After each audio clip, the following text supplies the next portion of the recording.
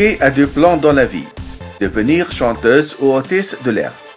Elle suit d'ailleurs aujourd'hui une formation pour l'être, en parallèle de sa pression pour la musique. Depuis toujours, Kay rêve de se retrouver sur la scène de The Voice sans jamais oser se présenter au casting. Il est temps de tenter sa chance. Ce soir, la jeune fille a décidé de chanter un titre de Billie Eilish, I Love You.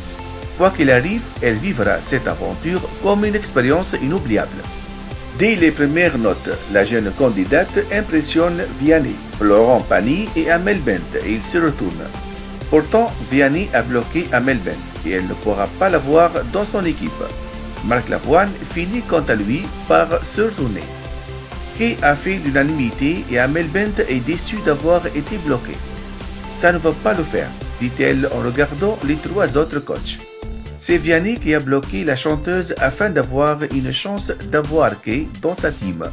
Je suis vraiment dégoûté. Kay a beaucoup plu au coach de The Voice et il tente de la convaincre d'aller dans leurs équipes.